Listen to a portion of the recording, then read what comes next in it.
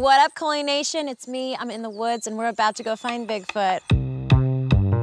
Ladies and gentlemen, we have our first official look at a Bigfoot. It has 15 million views in two hours. yeah, this thing is going crazy viral. I need to do a collab with Bigfoot. But let me guess, you're looking for a Squatch expert. Coley is doing this all for clickbait. I'm paying you $3,000, you dick! Hey, Coley, we're gonna cancel you. There's been a murder in the forest. Murder. They're looking for the suspect. He's not a felon. Just walk away. Walk away. That's how she talked to him. Just like that, you cop. Coley is with a Bigfoot expert named Marty Meltzer, who she's probably holding hostage. Wild! And it's slowly dawning on me as I'm standing here with you that we are lost and will probably die out here. And you are acting like a massive bash about it.